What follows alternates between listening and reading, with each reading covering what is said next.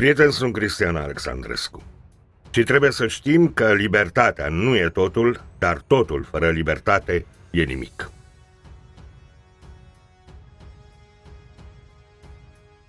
La Berlin și Stuttgart au avut loc sâmbătă, 2 aprilie 2020, manifestații față de încălcarea libertăților și a drepturilor din cauza măsurilor de protecție în fața noului coronavirus, informează DPA. Aproximativ o mie de oameni s-au adunat în Berlin pentru a protesta împotriva restricțiilor impuse de guvern pentru a stopa răspândirea virusului în ciuda interdicției demonstrațiilor. Protestul de la Berlin a fost organizat în fața Volksbühne, un teatru din centrul orașului. Mulți dintre cei prezenți au fost împiedicați să ajungă în piața din fața clădirii încercuită de poliție pentru a împiedica aglomerația. Astfel de proteste au avut loc la Berlin în ultimele patru sâmbete. În această săptămână, 200 de polițiști au fost dislocați pentru a face față evenimentului din centrul Berlinului din cauza măsurilor de izolare impuse de autorități pe perioada pandemiei de COVID-19. Îmi vreau viața înapoi, scria pe una dintre pancarte. Peste 100 de manifestanți au fost ulterior reținuți de polițiști, relatează Reuters. Protestatarii au strigat sloganuri precum protejați drepturile constituționale, libertatea nu e totul, dar totul fără libertate e nimic sau Tată, ce este acela un sărut? Unii protestatari au încercat să păstreze distanța de un metru între ei, s-au așezat pe jos și au purtat măști, însă alții s-au strâns în grupuri. Și oamenii legii au purtat măști de asemenea. La fel ca multe alte țări, Germania a impus restricții în activitatea publică din 17 martie pentru a încetini răspândirea pandemiei de COVID-19. Protestatarii au fluturat în mâini un ziar Rezistența Democratică, în care se afirma că noul coronavirus este o încercare de întărire a puterii prin răspândirea fricii. Ziarul citează 127 de medici din întreaga lume care pun sub semnul întrebării necesitatea carantinării populației. Purtătorul de cuvânt al poliției, Tilo Cablitz, a declarat că distribuirea ziarului a fost permisă, dar nu și protestul. În timpul pandemiei și conform deciziilor actuale, suntem obligați să prevenim adunările publice, a explicat el. Curtea Constituțională din Germania a decis la începutul acestei luni că oamenii au dreptul să protesteze cu condiția să păstreze distanța între ei. În Stuttgart, între 350 și 500 de oameni s-au adunat în centrul orașului pentru a protesta împotriva pierderii drepturilor lor fundamentale, au spus poliția și organizatorii. Protestul a fost organizat de un grup numit Kerdenken și șeful acestuia, Michael Balveg, a spus că demonstrația are în vedere drepturile de bază precum dreptul de asociere și libertatea de credință. Aceasta a fost a treia demonstrație de acest fel din Stuttgart – Protestul a fost inițial interzis de municipalitate, dar acest lucru a fost apoi respins de Curtea Constituțională Federală, potrivit Reuters. Tribunalul Administrativ din Praga a declarat ilegale limitările decise ca urmare a pandemiei de coronavirus. Guvernul ceh a abolit în curs de câteva ore toate îngrădirile libertății de mișcare, ordonând inclusiv deschiderea granițelor. Cehii au voie de îndată să călătorească liber în propria țară și chiar și în străinătate, iar interdicția adunărilor a fost relaxată. Aceasta a fost reacția fulger a guvernului de la Praga la o sentință judecătorească. Pentru activista pentru drepturile omului, Ana Sabatova, și soțul ei, Petru Ul, aceasta a fost o veste îmbucurătoare. Începuse să ne deranjeze că nu putem ieși legal din țară, a declarat Sabatova în dialog cu Deutsche Welle.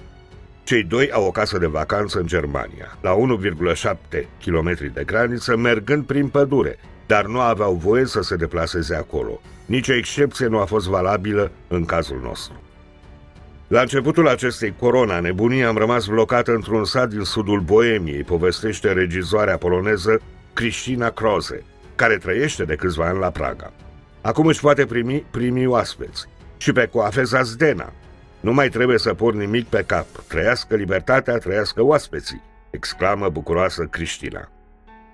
Cineastul Petr Janțarek, care a realizat un documentar despre ultimii trei ani de viață a lui Václav Havel, a rămas în Praga 30 de ani, o jumătate de viață, nu am avut voie să călătoresc în Occident. Începusem să-mi aduc aminte de acea perioadă. Acum se simte ușurat. Conducerea noastră și-a reanalizat în sfârșit critic propriile decizii.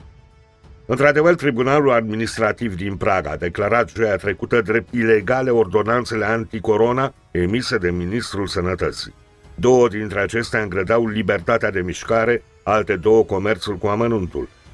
Îngrădirea drepturilor fundamentale poate fi decisă doar de guvern în consonanță cu legea pentru perioadele de criză, a argumentat judecătorul Stepan Viborni, președintele completului de judecată. El a acordat guvernului timp până luni să-și pună deciziile în acord cu legea. Cabinetul premierului Andrei Babiș a decretat starea de urgență deja din 12 martie, pe o perioadă de 30 de zile. Ulterior, Parlamentul a prelungit starea de urgență până la sfârșitul lunii aprilie și a ordonat îngrădiri, așa cum prevede legea pentru perioadele de criză. Dar apoi guvernul a revenit asupra acestor decizii.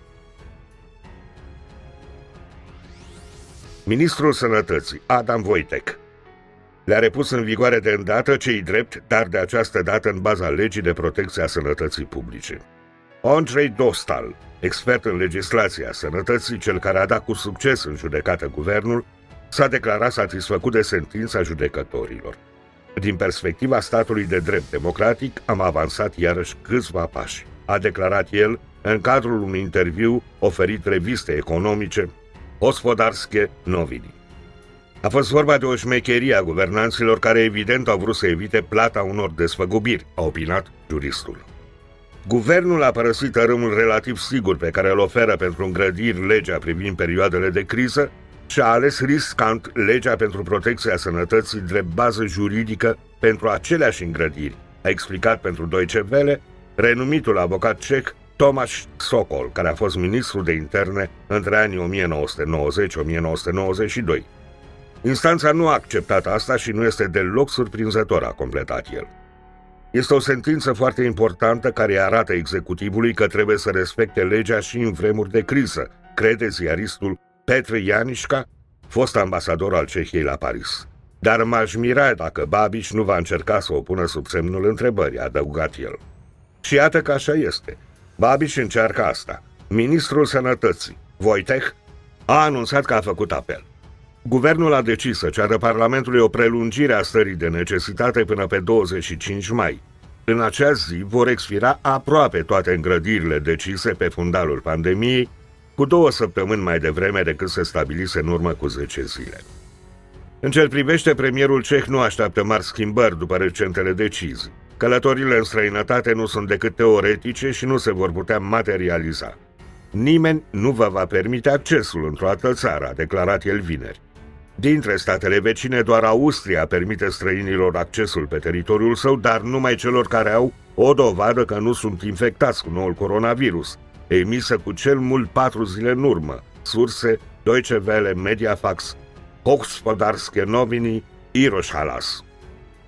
Potrivit site-ului oficial Media în fața noului coronavirus, mai toate țările europene au declarat stare de urgență și și-au forțat propria populație să rămână în izolare la domiciliu.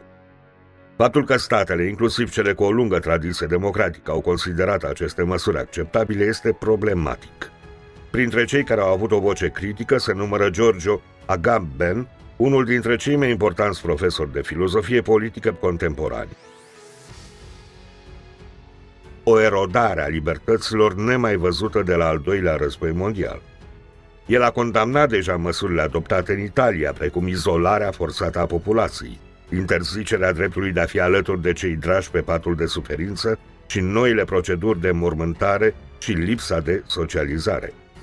După ce primul său articol a stârnit controverse și i-a atras acuze că nu ar fi un negaționist al gravității pandemiei, în cel de-al doilea text publicat pe 17 martie, Agamben revine cu precizări. Starea de excepție cu care guvernele neobișnuiseră de ceva vreme a devenit într-adevăr noua normalitate. Au fost și alte epidemii grave în trecut, dar nimeni nu s-a gândit că ele sunt motiv de declarare a stării de urgență, precum cea de acum care ne interzice până și să ne mișcăm, spune el în al doilea articol. În unele săptămâni, starea de urgență a fost deja abuzată, uneori în mod grotesc. În Polonia, cu oamenii încă închiși în case și fără posibilitatea de a se împotrivi, Partidul Lege și Justiție, la putere din 2015, profită de faptul că nu sunt permise adunările publice și se pregătește să treacă prin Parlament legile împotriva avortului pe care a trebuit să le retragă acum doi ani din cauza protestelor masive. Sub starea de urgență, statul a încetat să mai fie democratic și a devenit stat polițienesc. În faza autorităților cu privire la milioanele de euro colectate zilnic din amenzi, ascunde o realitate sumbră. Forțele de ordine au intrat într-o competiție a pedepselor pecuniare în care cetățenii sunt victime directe ale abuzului de putere, înfricoșați să se miște în propria țară. Ca termen de comparație, în Marea Britanie, în perioada 27 martie-13 aprilie, au fost date un număr de 3203 de amenzi pentru încălcarea regulilor izolării. Deși suma totală nu este specificată, amenda cea mai mare pentru asemenea infracțiuni este de 60 de lire sterline. În România, pragul pentru cea mai ridicată amendă este de 20.000 de lei, echivalentul la peste 3600 de lire sterline. Toate aceste exemple și multe altele nemenționate aici sugerează că declararea stării de urgență și izolarea forțată a populației au dus aproape peste tot la o erodare a valorilor democratice și a drepturilor fundamentale nemai văzută de la cel de-al doilea război mondial. În acest context, o revizuire a conceptului stării de urgență este necesar nu doar în România, ci în toate țările care vor să mai salveze fărâma de democrație ce va mai rămâne după această pandemie. Din punctul meu de vedere, este una din marile tragedii ale umanității faptul că după experiențele anilor 30 și după al doilea război mondial, când s-a văzut mai bine ca oricând unde duce existența în sistemul legal a posibilității declarării stării de urgență, această practică a rămas neschimbată.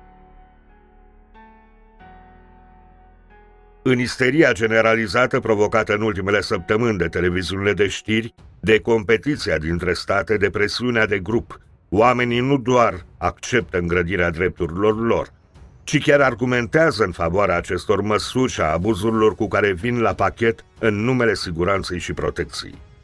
Conform argumentației folosite de unele guverne și o parte a populației în actuala criză, ar trebui să stăm într-o permanentă stare de urgență și de arest la domiciliu, pentru că nu e așa, întotdeauna vor fi pericole de care să trebuiască să fim apărați. Și statul, tot mai totalitar, în mărinimia lui, ne va apăra și ne va ține în viață. Ne va controla fiecare mișcare, ne va urmări prin telefoane și drone, ne va inocula frică printr-o media tot mai neprofesionistă și obedientă, ne va da voie să ieșim numai când va vrea el, ne va face programul zilnic, ne va dicta stilul de viață, va adopta legile pe care le dorește, pentru că dreptul la protest nu mai există atunci când populația este în izolare forțată. Titrează oficial media.ro În timp ce unele măsuri de protejare împotriva COVID-19 sunt legitime, ele ar trebui să respecte libertățile individuale și să fie bazate mai degrabă pe colaborare decât pe coerciția propriilor cetățeni. În 1995, Comisia Europeană pentru Democrație, prin lege partea Comisiei de la Veneția, a dat publicității un raport despre sistemul stării de urgență în majoritatea țărilor europene, Canada și Statele Unite. Raportul este un instrument util pentru înțelegerea diferențelor dintre țări în această privință. De exemplu, multe din țările nordice, Danemarca, Suedia, Finlanda, nu au o legislație specială pentru decretarea stării de urgență, în majoritatea celorlalte state, măsura există într-o formă sau alta în Constituții, iar ea poate fi abuzată. În ultimul capitol, raportul face câteva recomandări, cum ar fi o mai mare atenție la modul în care se definește urgența sau respectarea principiilor proporționalității și temporalității. Două fraze din această secțiune sunt însă esențiale. 1.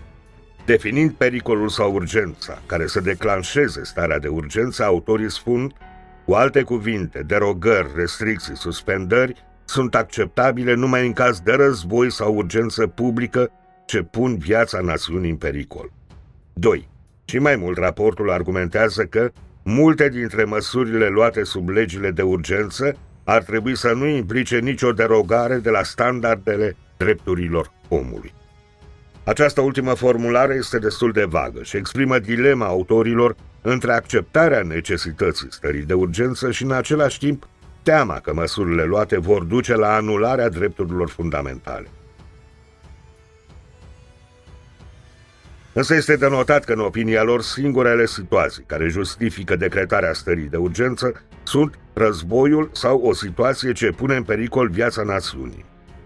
Această opinie este menționată și într-o compilație publicată de Comisia Europeană pentru Democrație prin lege pe 16 aprilie 2020. Acest document exprimă implicit, acest lucru nu este încă spus explicit, îngrijorarea Comisiei Europene că măsura stării de urgență este abuzată în contextul luptei împotriva noului coronavirus în multe țări. Criza COVID-19 nu îndeplinește niciunul din cele două criterii menționate mai sus. Aceasta nu este o situație de război în pofida isteriei create de media și a limbajului irresponsabil folosit de politicieni, iar viața națiunii nu a fost în niciun moment pusă în pericol de virus. De la început s-a știut că majoritatea covârșitoare a celor infectați vor dezvolta simptome minore și moderate. Cu mai multă înțelepciune și politici temperate, statele ar fi trebuit să protejeze pe cei vulnerabili, să testeze și să izoleze pe cei care se contaminează, să mărească capacitatea paturilor de terapie intensivă, să înființeze noi spitale, să mărească numărul ventilatoarelor și așa mai departe. De fapt, abuzarea stării de urgență acum va conduce probabil la un context în care viața națiunilor să fie cu adevărat pusă în pericol, având în vedere că, potrivit prognozelor instituțiilor internaționale, va urma un crah economic similar celui de la începutul anilor 1930. Dacă vrem ca lumea să nu se transforme literal într-un viitor foarte apropiat, într-un univers orwellian, cred că trebuie gândite modalități de eliminare totală a stării de urgență din Constituții și sisteme legale internaționale. Modul în care a fost abuzată această măsură astăzi arată că atâta timp cât ea va exista ca posibilitate, drepturile fundamentale ale cetățenilor vor fi în pericol. Astfel de propuneri sunt un argument că, mai ales în contextul celor întâmplate în ultimele săptămâni, trebuie să ne îndreptăm către un sistem în care, indiferent de urgență, libertățile civile să nu poată fi îngrădite, iar măsurile ce se iau să se bazeze pe consensul și nu pe coerciția cetățenilor. Dacă nu înțelegem și nu facem asta acum, oricând vor putea fi inventate în viitor urgențe care să justifice suspendarea libertăților individuale. Sursa scena9.ro, autor Ion Popa, cercetător la ICUB, Universitatea București și cercetător onorific la Centrul de Studii Iudaice, University of Manchester, Marea Britanie. Prieten, sunt Cristian Alexandrescu. Pe curând!